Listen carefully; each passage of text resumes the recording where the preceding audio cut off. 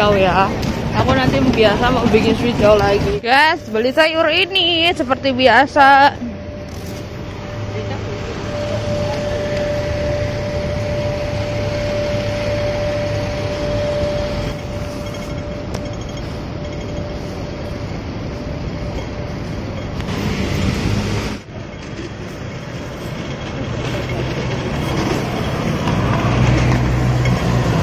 ya sekarang aku mau pulang ya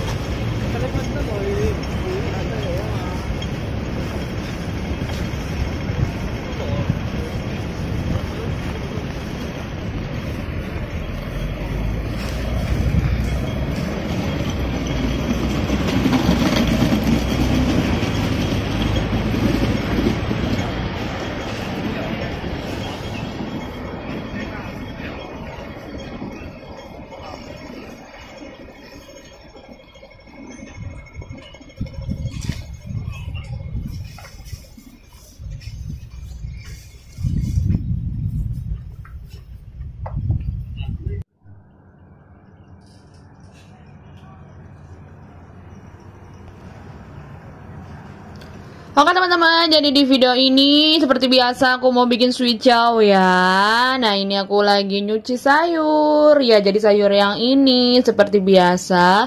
Dan aku mau sarapan dulu ya teman-teman. Itu rotinya udah aku rawun.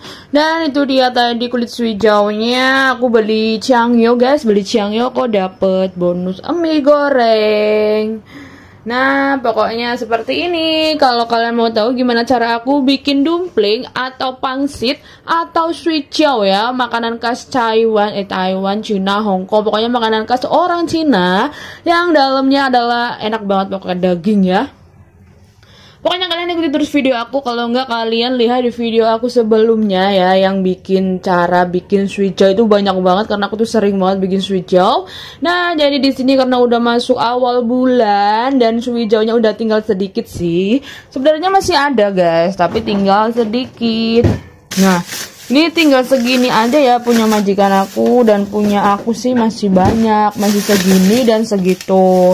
Jadi pisah karena apa pisah? Karena majikan aku itu nggak suka daun seledri dan aku tuh suka ini tuh isinya daging terus juga daging sapi daun seledri ini sih ngakeh banget loh guys. Kayak gitu makanya dipisah.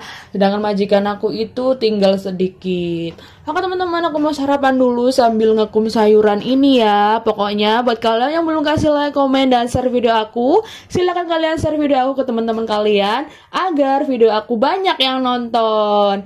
Hehehe. Oke guys selamat menonton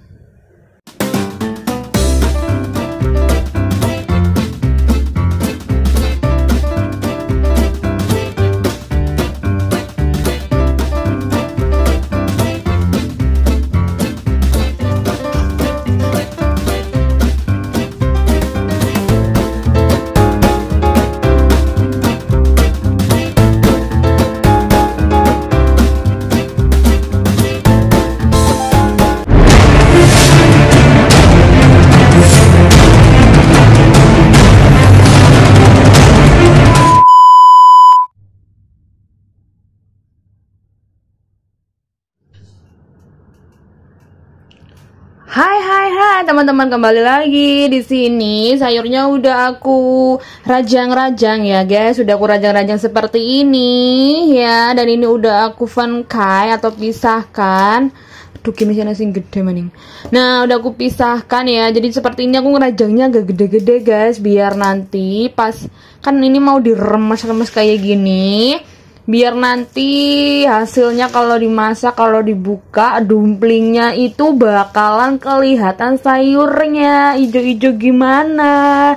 Jadi aku ngirisnya agak gede-gede ya Nah, terus di sebelah sini ini tuh khusus agak banyakan daunnya ya. Soalnya ini nanti nggak aku remes, kayak giniin aja terus nanti dicampurin. Soalnya hasilnya itu nikmat banget, guys. Kata majikan aku yang cowok, kata tuan muda, itu enak banget kayak seger, kayak kayak apa ya? Kayak masih ada terasa sayur segernya gitu.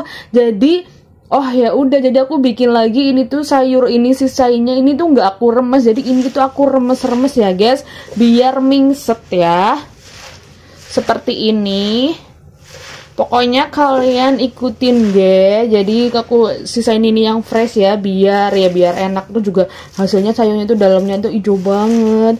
Ya Allah jadi seperti ini kurang lebihnya ya guys pegawaianku. Neng Hongkong sebagai TKW tukang bersih-bersih, tukang masak, tukang apa baik, tukang angon anjing. Enggak angon sih, anjingku nggak pernah dibawa keluar. Tapi cuma di rumah ya aku ngurusin anjing, ngurusin nenek. Bukan nenek sih ya, Bobo. Jadi Bobo itu bukan tidur ya guys. Jadi Bobo itu adalah ya tante bahasa Hongkongnya tante itu Bobo kayaknya deh. Kalau Indonesia kan tidur ya, Bobo. Nah, terus sekarang majikan aku itu lagi di panti jompo. Jadi, ya aku kayak gini, siap-siap. Pokoknya serat-serat-serat ya. Soalnya ini kalau bikin dumpling itu ya, jauh itu nggak bisa ditinggal-tinggal harus dibuntel, takut tengkol ditinggal apa namanya? Nek dagingnya digoreng sok mani mbok mambu. Dan itu aku lagi udah natulai curoknya ya nanti aku kasih tau kalian. Pokoknya ikuti terus video aku jangan lupa kalian kasih like komen dan share video aku ke teman-teman kalian agar video aku banyak yang nonton. Aduh. Oke okay guys. Wassalamualaikum. Ya nggak wassalam sih ya. Masih panjang videonya. Pokoknya ikutin terus video aku Oke teman-teman jadi ini dia dagingnya ya Dagingnya seperti ini. Aku mau dicuci dulu ya Sambil alir mengalir. Sawe dicongcong ya Sawe dicuci. Biar nanti dumplingnya itu awet dan tahan lama. Tuh ini masih beku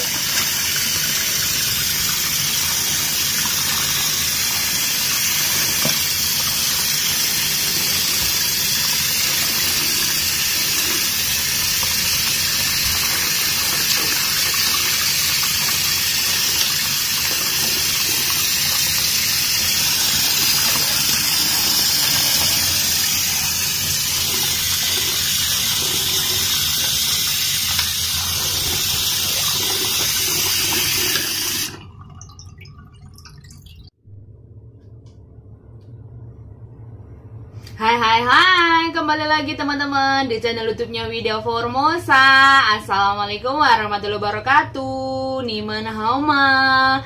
Oke teman-teman, apa kabar semuanya? Jadi di video kali ini seperti biasa aku itu mau bikin dumpling ya atau pangsit atau suijau guys atau makanan khasnya orang Cina. Pasti kalian udah tahu ya, pokoknya aku tuh sering banget bikin suijau atau makanan khasnya orang Cina, dumpling. Ya jadi ini di sini tuh udah aku siapkan bahan-bahannya, sayurnya, dagingnya. Ini adalah kulit pangsitnya, pokoknya semuanya udah siap. Tinggal aku membuntel-buntel atau membungkus-bungkusnya ya, teman-teman. Nah, oke teman-teman, pasti kalian yang udah berlangganan channel aku, yang udah sering nonton channel aku, aku tuh sering banget bikin pangsit ya. Sering banget bikin pangsit atau suijau ini tuh emang aku sering banget. Jadi aku tuh ngepani atau menjaga bujang siji, anaknya majikan aku ya, anaknya nyonya. Jadi dia tuh seneng banget sama pangsit dan juga simple, terus juga masakan aku itu enak enak sumpah sumpah. Iya iya emang enak guys. Jadi makanan makanya ya aku juga sering banget bikin pangsit. Terus juga menurut aku juga simple karena majikan aku yang cowok itu kerjanya pulangnya malam juga. Kalau aku gue wis melebung kamar jadi aku tuh nggak sembilan emang males lah masak ya emang dia nggak masak masak sendiri pokoknya ya. Jadi di Hong Kong itu ya guys beda. Kalau di sini itu kayak jarang banget makanan-makanan. Di Hong Kong itu nggak ada pasar malam ya. Nggak kayak di Taiwan tuh makanannya kayak banyak banget deh. Kayak akeh banget yang panganan yang Taiwan. Tapi di Hong Kong itu sedikit panganan guys. Terus juga di Hong Kong itu ya toko-toko atau kaibo atau pasar pas eh, pasar gue ya emang pasar sayur enggak sih. Maksudnya kayak toko-toko kayak kayak supermarket gue jam 6 jam itu jam bolu gue wis sepi guys. Kayak wis tutup gitu loh. Pokoknya nggak sampai malam gitu loh guys. Jadi kayak gini lah. Pokoknya aku sering banget pangsit atau dumpling itu juga ada sih dijual di toko-toko atau di Kaibo atau di Welcome atau di Jenlen ya. Jenlen itu kalau di Taiwan tuh Jenlen di Welcome juga di Hong Kong juga ada Welcome Nah itu ada, biasanya tuh ada pangsit rasa ayam, rasa sapi, dan kebanyakan itu rasa babi ya. Seperti biasa, ini tuh aku mau bikin pangsit rasa celeng. Atau rasa babi ya, babi. Seperti ini, ya emang orang Cina itu sukanya babi guys. Jadi kalian jangan takut. Ya nggak takut sih, takut sih ora ya. Kur priwe ya. Ya udah priwe lah ya. Nah, oke teman-teman, jadi mau tahu gimana cara bikinnya, pokoknya kalian ikuti terus video aku. Oke teman-teman, buat kalian TKW yang udah lama ataupun yang baru, kalian wajib coba ya cara bikin dumblenya itu gampang banget, sebenarnya itu mudah. Yang malesnya itu buntel-buntelnya gitu lah, soalnya buntel-buntelnya gue ya, suwe banget soalnya itu gawennya akeh jadi suwe banget buntele tapi menurut aku itu bikin dumpling itu ya menurut aku banyak manfaatnya ya banyak keuntungannya. Di samping simple nanti langsung tinggal diketaruh di kulkas atas ya dibekukan. Terus kalau masak itu tinggal dinaculai tinggal dikeluarkan terus juga tahan lama dan awet. Dan juga enak udah ada sayur dalemannya sudah ada daging dan kayak gitunya. Pokoknya menurut aku tuh aku itu dumpling itu makanan enak makanan favorit ya. Digemari oleh majikan-majikan kalian pasti ya.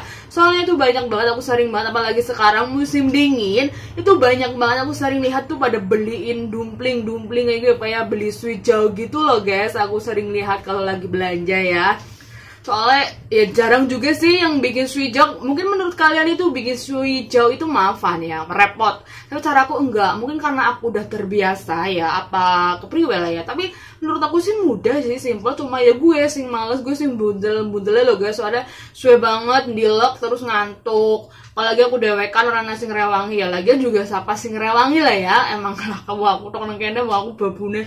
Maksud perintah majikanku kon. Kon buntel aduh aduh aduh.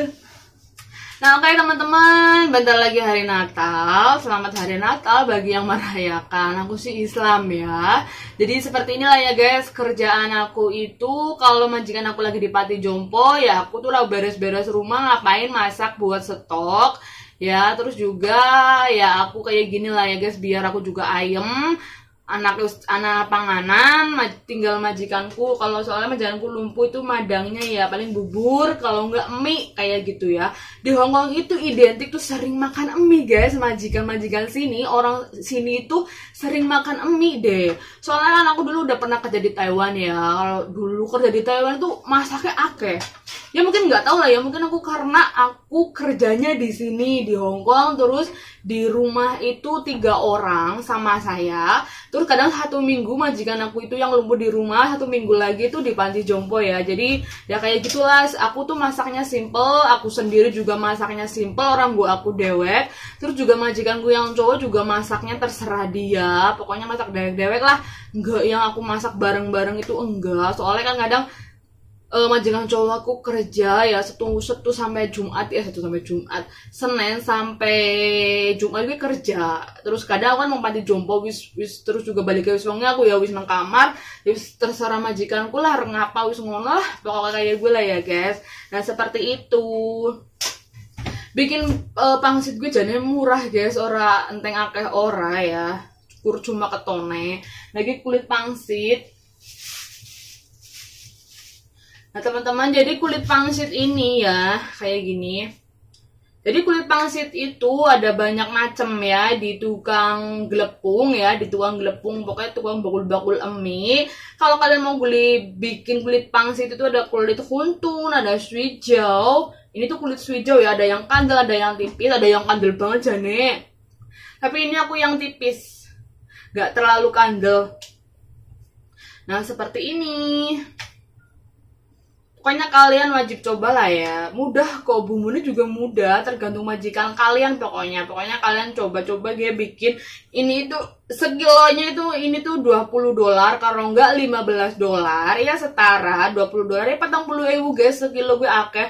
Kalian coba gue bikin sedikit-sedikit aja terus di sedikit ini. Itu biasanya beli di pasar pokoknya nang bakul-bakul sing kayak ani kayak warung-warung kayak gue guys. Biasanya nyanding sing bakul tahu kayak gue loh guys. Biasanya nyanding.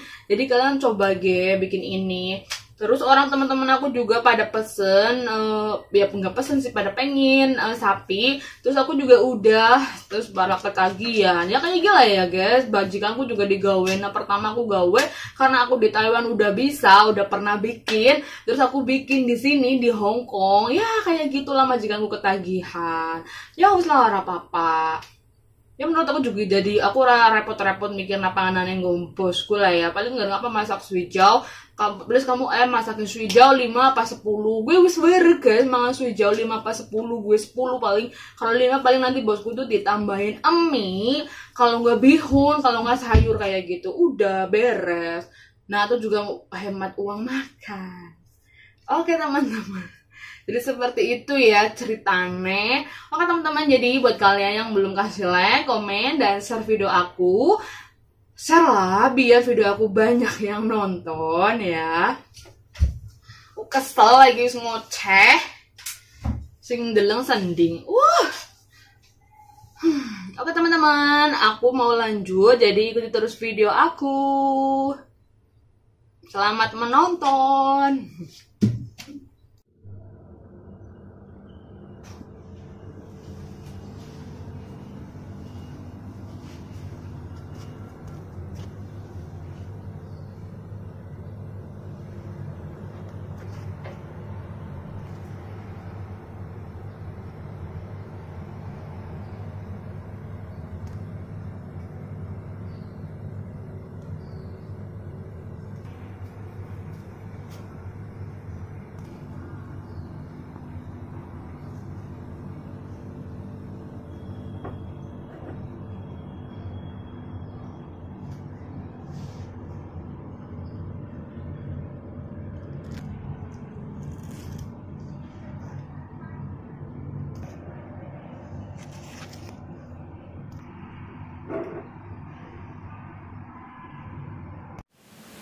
Buat kalian yang belum subscribe channel ini, silahkan kalian klik tombol subscribe ya guys.